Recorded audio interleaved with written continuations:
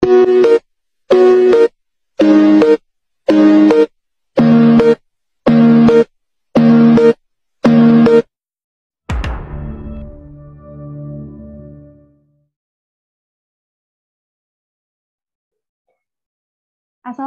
warahmatullahi wabarakatuh. Selamat pagi, siang, sore, malam semuanya nih yang lagi nontonin podcast kita. Halo, kita adalah mahasiswa Ilmu Komunikasi UPN Veteran Jakarta. Jadi di sini tuh kita pengen ngebahas tentang suatu film yang super duper terkenal banget dan famous banget. Dan bahkan nih ya, film ini tuh bisa menangin Oscar. Wow, keren banget sih. Apalagi kalau bukan film Parasite dari Korea Selatan. Nah, tapi di sini tuh kita pengen ngebahas tentang suatu hal yang anti mainstream banget. Karena kan ya biasanya nih orang-orang kalau nontonin film mereka tuh kayak ngejelasin tentang alur ceritanya atau bahkan kayak nge-review filmnya gitu loh. Tapi tuh di sini kita benar-benar anti mainstream banget karena kita tuh pengen ngebahas tentang ekonomi politik dari film Parasite. Wow, benar-benar anti mainstream banget loh. Oke nih, sebelum kita ngebahas tentang hal menarik nih dari film ini, kayak tuh enaknya atau lebih afdolnya kita tuh kenalan dulu sama orang-orang yang pengen ngebahas tentang film ini. Oke, pertama dari gue dulu. Halo, nama gue Oktavi Dira Putri.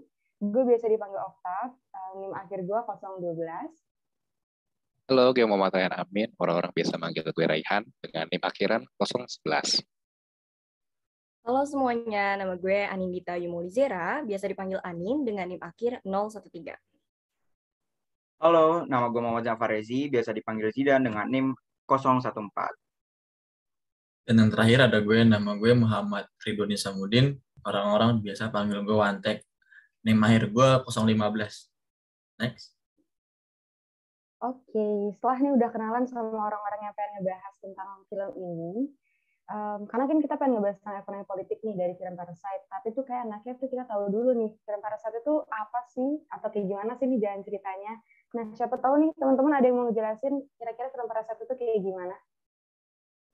Gue pengen jelasin kali ya, tapi kayak uh, apa itu film Parasite.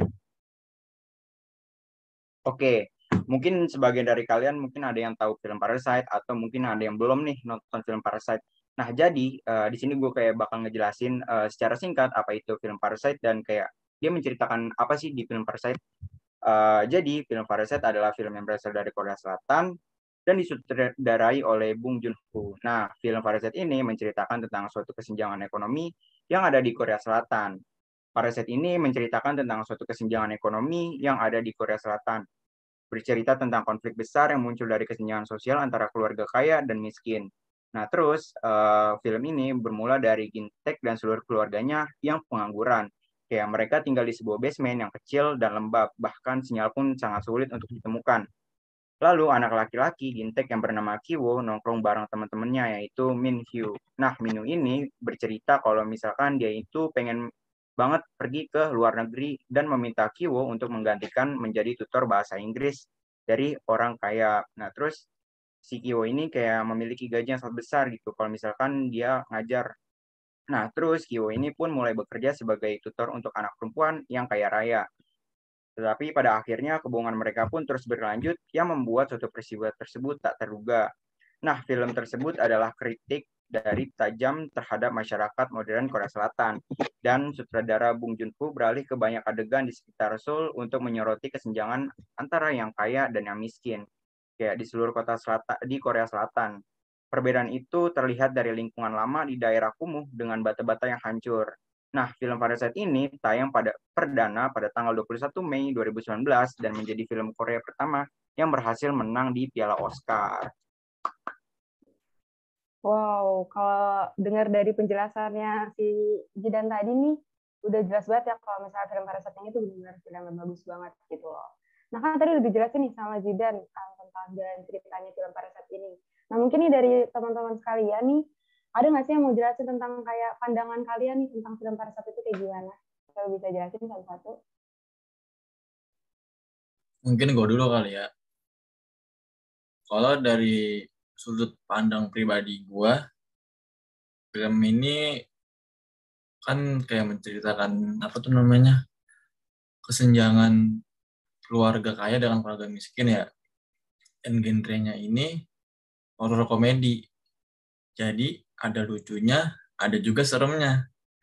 awalnya sih ini film lucu-lucu aja, tapi lama-lama jadi deep banget nih alurnya.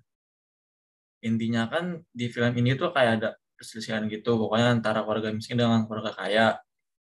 Langsung to the point aja, yang gue dapat dari film ini, jadi kita tuh kayak diperingat, diperingatkan untuk menghindari yang namanya menipu orang, memfitnah orang, maupun menjatuhkan karir seseorang.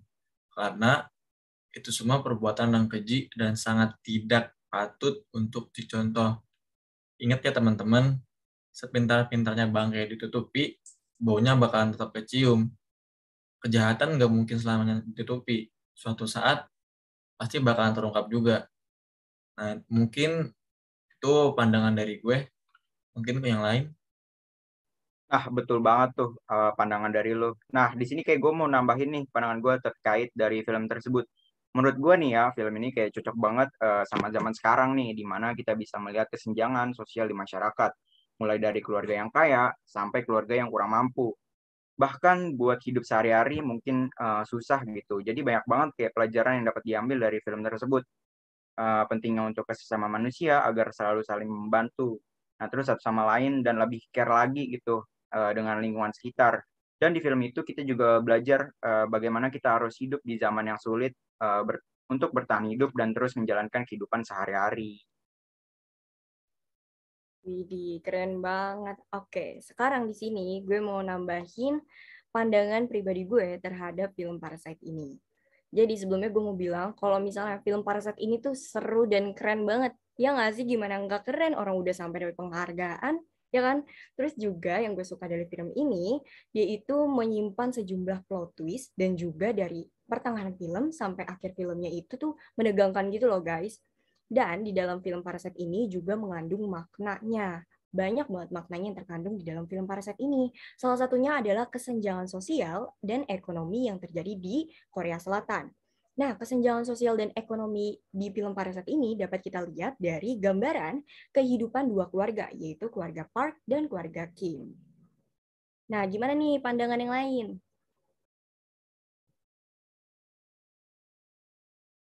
Nah, um, film ini tuh emang luar biasa banget ya. Nah, lalu kalau kita lihat lagi lebih teliti bahwa um, film ini tuh memang sangat menggetarkan uh, dunia sinias khususnya di pada tahun 2019 gitu ya. Karena kita tahu bahwa film Parasite ini dengan sinematografinya yang sangat epic gitu ya. Lalu alur cerita yang sangat menarik nih tadi yang kayak dibilang teman-teman nih bahwa yang dari awalnya itu keruan komedi wah ternyata kita akhir makin serem gitu. Nah, jadi di sini itu menggambarkan sisi gelap dari Korea Selatan kalau kita tahu bahwa selatan itu di K-pop atau K-drama itu digambarkan sebagai tempat-tempat yang romantis, tempat-tempat yang sangat indah, tempat-tempat yang penuh dengan teknologi, dan pada realitanya adalah itu sangat digambarkan dalam film ini. Jadi uh, sangat adanya ketimpangan sosial ekonomi gitu loh antara orang yang miskin dengan orang yang kaya. Itu sangatlah uh, ada uh, apa ya tajamnya lah, seperti itu. Dan Bong Joon Ho ini memang sangatlah piawai dalam mengemas film ini, dalam eksekusi film ini, sehingga mampu menarik empat piala Oscar pada tahun 2020. Luar biasa banget. Wow, keren banget ya.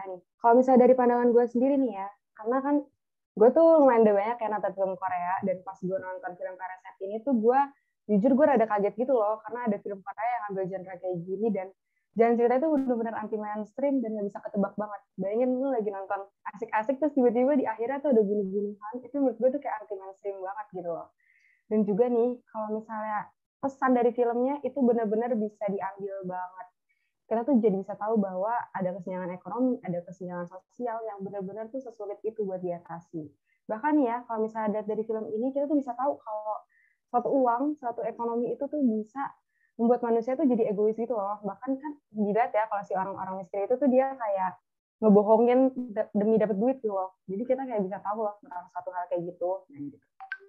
Oke nih kan tadi udah ngasih banyak nih ya tentang apa ya pandangan-pandangan kalian tentang film ini yang benar-benar bervariasi banget dan gue super duper setuju kenapa bisa bervariasi karena film ini kan benar-benar bagus banget loh ya. Oke nih kita kayaknya enaknya back to topic ngomongin tentang ekonomi politik dari film Parasite ini. Tapi sebelum kita bahas tentang ekonomi politik dari film Parasite, kita kayaknya harus kenal dulu apa itu ekonomi politik. Mungkin di sini teman-teman ada yang mau ngejelasin tentang apa itu ekonomi politik? Oke, di sini gue bakal jelasin pengertian ekonomi politik menurut ahlinya. Dan di sini gue mengambil uh, Budi Arjo.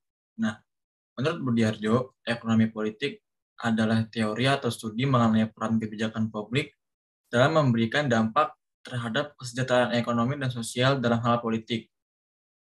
Dan juga dinyatakan bahwa ekonomi politik adalah ilmu yang membahas produksi dan perdagangan dan kaitannya dengan adat, pemerintahan, dan hukum. Ilmu ini ilmu ini membahas mengimplementasikan teori dan metode yang memberikan dampak terhadap sistem ekonomi sosial dan ekonomi yang berbeda dan berkembang, seperti kapitalisme, sosialisme, dan sebagainya. Dan juga mengkaji bagaimana kebijakan publik dibuat dan dilaksanakan karena berbagai individu karena berbagai individu dan kelompok memiliki keperluan yang berbeda di suatu negara atau ekonomi berkembang. Ekonomi politik dianggap merupakan kekhususan ilmu yang kompleks, melingkup berbagai keperluan yang berpotensi untuk berkompetisi. Mungkin kalau dari gue itu, boleh dilanjut. Wih, mantap Wantek. Tadi teman kita ini Wantek udah ngejelasin pengertian ekonomi politik menurut ahlinya. Nah, kayaknya kurang lengkap nggak sih kalau kita itu cuma tahu pengertian ekonomi politik menurut ahli. Nah, sekarang di sini gue mau ngejelasin pengertian ekonomi politik secara umum. Gimana? Udah pada penasaran belum? Nah, kayaknya udah pada penasaran sih. Banget, banget. Nah, langsung aja ya gue bahas.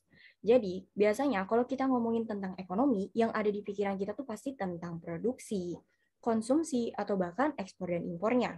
Sedangkan kalau kita ngomongin tentang politik, yang ada di otak kita itu pasti tentang negara, ideologi, atau bahkan pemerintahannya. Nah, dua kata yang secara empiris dan istilah ini sangat berbeda itu disatukan menjadi satu, yaitu ekonomi politik. Nah, dengan adanya kata ekonomi politik ini muncullah kajian-kajian baru yang membahas mengenai tindakan atau keputusan pemerintah untuk memenuhi kebutuhan dan kepentingan masyarakat sesuai dengan negaranya masing-masing. Jadi, kalau gue sederhanakan, pengertian ekonomi politik secara umum tuh gini guys.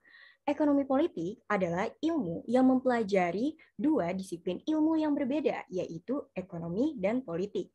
Nah, di sini itu membahas mengenai kebijakan pemerintah di bidang ekonomi, khususnya untuk kemakmuran masyarakat. Jadi gitu, gimana? Udah pada paham belum? Oke, ada yang mau lanjutin lagi nggak nih? Ada yang mau nambahin gitu? Boleh, boleh. Gue tambahin kali ya. Jadi, di ekonomi politik ini kan terbagi menjadi uh, lima sistem ya. Jadi itu yang pertama ada nasionalisme atau merkantilisme. Nah, di sini itu negara sebagai aktor utamanya nih. Jadi negara juga yang uh, mengatur kegiatan dari perekonomiannya. Nah, lalu ada yang kedua, itu ada tentang ekonomi klasik. Nah, di sini itu pasar atau masyarakat sebagai aktor utamanya gitu. Jadi ada uh, ekonomi klasik ini pasar itu bebas untuk mengatur dirinya uh, sendiri itu tanpa intervensi dari pihak mana pun. Lalu yang ketiga itu biaya produksinya uh, sangatlah berpengaruh harga jual ataupun penggunaan dari suatu produk itu. Nah, yang ketiga ini ada namanya neoklasik. Berbeda dengan ekonomi klasik. Pada neoklasik ini pasar memang tetap sebagai terutamanya tetap sama. Namun persepsi dari konsumen ini itu sangat berpengaruh terhadap harga ataupun terhadap value suatu uh, dari uh, harga dari barang tersebut itu. Jadi akan berpengaruh ke harga dan juga penawarannya. Kita lanjut yang keempat ya. Jadi yang keempat ini itu ada namanya Marxis. Gitu. Jadi pada uh, sistem ekonomi ini gitu ya, kelas sosial itu sebagai uh, terdiri dari aktor pada Marxis, Marxisme ini kelas sosial itu sebagai aktor utamanya gitu. Nah, di sini itu menganggap Marxisme itu menganggap bahwa kapitalisme itu sebagai uh, eksploitasi dari para pekerja gitu. Jadi kita tahu bahwa kapitalisme itu akan meraup keuntungan sebesar mungkin gitu ya dengan tidak mempertimbangkan kemanusiaan mungkin ya. Kita tahu mereka para borjuis akan dengan leha-leha gitu ya, mereka akan dengan senang sebagai alat produksi. Sedangkan para proletar itu diharuskan untuk bekerja terus-menerus seperti kuda yang harus bekerja pokoknya untuk atasannya dan dia mungkin tidak tahu para proletar ini apa yang akan dia dapatkan. Itu adalah um, sebuah kritik dari kapitalisme. Jadi yang sudah jelas marxisme ini terbagi menjadi kelas bourgeois dan juga proletar dan biasanya ini akan ramai oleh pengusaha swasta sebagai pemilik alat produksinya. Nah, yang terakhir ini ada yang namanya ekonomi kapitalis. Berbeda dengan marxisme, ekonomi kapitalis ini negaralah yang memiliki alat produksi. Lalu juga harga ini ditentukan oleh negara, lalu juga minimnya intervensi dari negara. Nah, biasanya juga untuk harga ini itu ditentukan oleh uh, kehendak pasar. Jadi berbeda banget ya dengan marxisme. Kurang lebih sih seperti itu. Wow, kalau dari penjelasan kalian sih ya, gue benar-benar jadi paham banget nih apa itu ekonomi politik. Benar-benar super duper jelas banget gitu. Oke nih kita kayaknya harus masuk ke topik utama kita yaitu tentang ekonomi politik dari si film Parasite ini. Nah, jadi dari apa yang udah kelompok kita bahas nih, udah kita diskusiin juga, jadi tuh ekonomi politik dari film Parasite ini tuh dia lebih condongnya ke kapitalis dan juga klasik. Nah, coba di sini siapa yang pengen ngejelasin nih alasan kenapa nih kelompok kita pilih ekonomi kapitalis dan juga klasik sebagai um, pendekatan ekonomi yang ada di film Parasite. Nah, mungkin bisa kali ya gue coba uh, mereview kenapa sih kita memilih Parasite ini sebagai bahasan utama kita nih dalam bahasan ekonomi politik ini film yang disutradarai, uh, film yang disutradarai oleh Bong Joon-ho ini itu memang menggambarkan situasi sistem ekonomi kapitalis di Korea Selatan dengan menampilkan ketimpangan antara kelas proletar dengan borjuis. Nah, di sini itu keluarga Kim sebagai proletar ya, sebagai yang bekerja itu harus mencari cara cerdas untuk bisa selalu mendapatkan pekerjaan. Untuk apa? Tentunya untuk makan, untuk memenuhi kebutuhan kehidupan. Nah, namun dengan sistem ekonomi kapitalis seperti ini, pasti akan selalu mencari cara untuk mendapatkan uang dengan cara apa pun itu. Bisa saja dengan mencuri, mencopet, atau dengan menjadi benalu di keluarga orang kaya. Bisa saja, asalkan dia mendapat uang dan dia bisa memenuhi kebutuhannya, maka itu sah dalam dunia kapitalis. Nah, di sini itu ketimpangan sosial ekonominya memang sangat terlihat gitu ya. Keluarga kaya yang penuh dengan fasilitas, akomodasi yang lengkap gitu ya, dengan segala kebutuhan yang serba ada berbeda sekali dengan keluarga Kim yang nilai sangat miskin gitu ya rumah saja di bawah tanah basement gitu loh. Kadang kena banjir kadang panas gitu ya susah untuk mendapatkan akomodasi dan juga sebagainya. Nah lalu jika kita melalui pendekatan klasik. Pasar yang sempurna itu adalah ketika adanya penjual dan adanya pembeli. Berdasarkan kondisi pada film Parasite ini warga miskin yaitu keluarga Kim dapat dianalogikan sebagai penjual dan pasar. Jadi kesengsaraan yang mereka rasakan sebagai keluarga game ini itu adalah kondisi dari keluarga itu sendiri.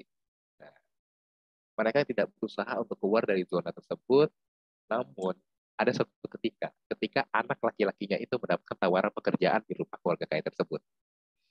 Dari situ semuanya berubah drastis.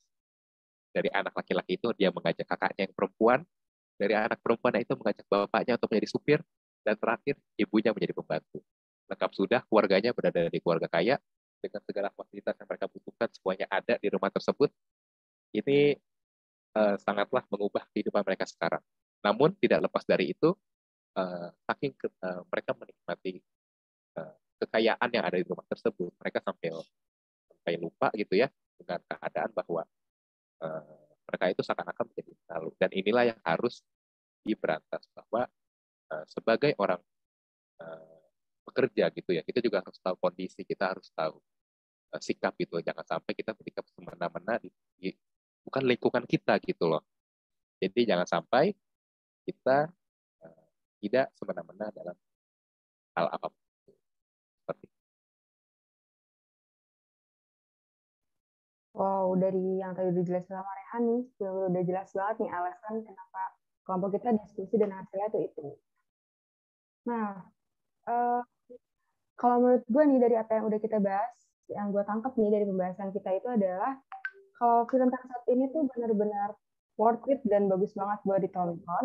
Dan juga nih, uh, menurut apa yang kita udah jelasin, uh, ya emang Parasite itu maksudnya ke dalam bisnis kapitalis dan juga klasik ya. Nah, dengan alasan yang tadi udah rehabilitasi gitu.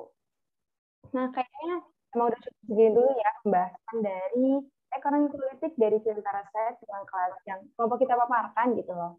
Nah, semoga apa yang udah kita paparkan ini um, bisa bermanfaat ya dan juga semoga nih ya nilai dasar-dasar ilmu politik kita bisa bagus lah ya dengan pembahasan ini. Oke nih sekian dari kelompok kita kurang lebih mohon maaf saya mau kelompok tiga izin sendiri. Terima kasih. Wassalamualaikum warahmatullahi wabarakatuh.